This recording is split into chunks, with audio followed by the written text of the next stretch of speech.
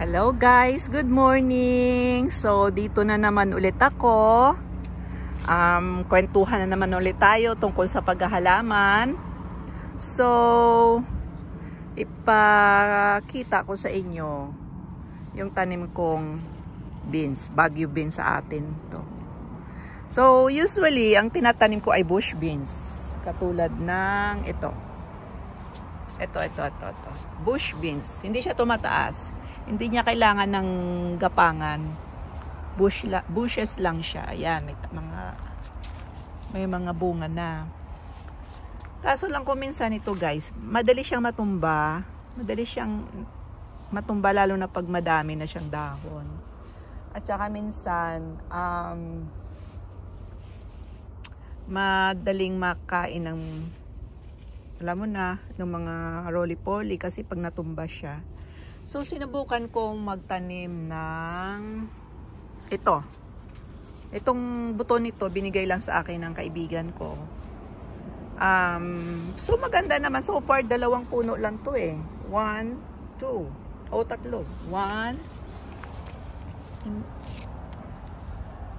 Oh, tatlong puno lang ito. So, Ah, uh, masipag siya. Dami siyang bulaklak. Ayan. Bulaklak. Ayan. So, kung minsan ang sitaw eh hindi agad-agad magbunga, maganda ito magtanim kayo ng alternative.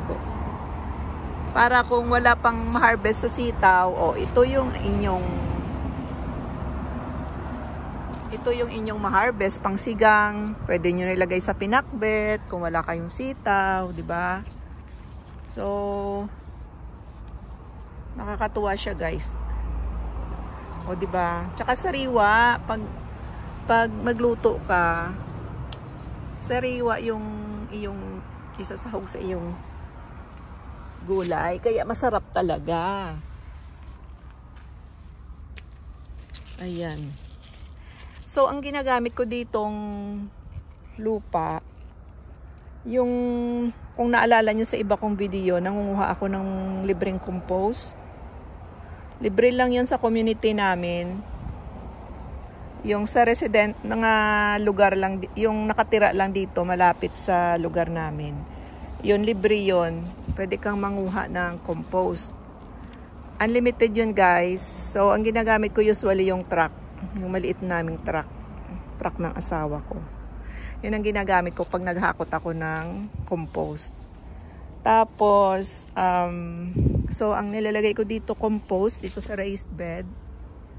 Um, tapos nanaluan ko siya ng steer manure or chicken manure. Tapos lagyan ko siya ng organic fertilizer. At saka vermic vermicast Ayan, ayan siya. Tingnan nyo guys, yung lupa. Maitim. Pag, pag maitim, ibig sabihin, malus, mas, ano yan, sustansya yung lupa na yan.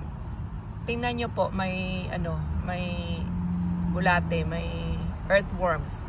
So, ibig sabihin, ang lupa natin ay malusog o healthy or gustong gusto ito ng ating halaman. Basta tapos, i-maintain nyo lang yung um, masa-masa yung lupa. Yeah, wag nyo hayaang mag-dry. Kasi pag nag-dry, aalis yung mga bulate.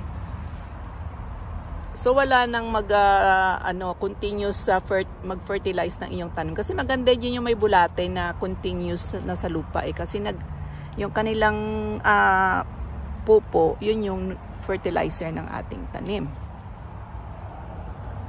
So, yun.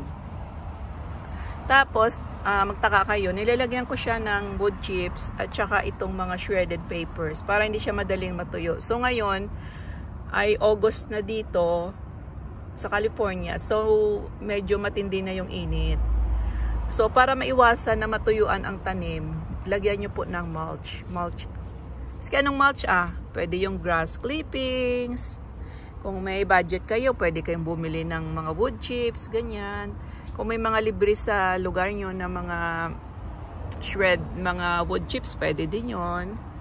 So, yon Yun lang. Tapos, dinidiligan ko siya guys ng ano, ng may ginagawa ako comfree fertilizer, yung comfree na tea. Yung dahon ng comfree, ibababad mo siya. After one week, pwede mo siya idilig. Sagana sa nitrogen yon. Tapos, uh, pag nag-cut ako ng pag nag-cut ako ng mga sanga ng saging namin, chop-chop ko yan, lagay ko siya sa container, lagyan ko tubig, after one week, idilig ko siya. So, may potassium na yung ating halaman. Yun. So magtataka din kayo kung bakit may mga balde na puti yung aking tanim. Ayan. Uh, gagawa akong na video sa next. So sabaybayan nyo nila mga video ko. Medyo uh, less ngayon ang trabaho ko kaya nakakapag magkaroon nagkaroon ako ng time para maggawa uh, ng mga video. So yun lang guys, sana may natutunan kayo and maraming salamat sa inyong uh, uh, patuloy na nagpag-support sa aking um, uh, channel. So, yun lang po. Thanks for watching. See you next time. Bye-bye.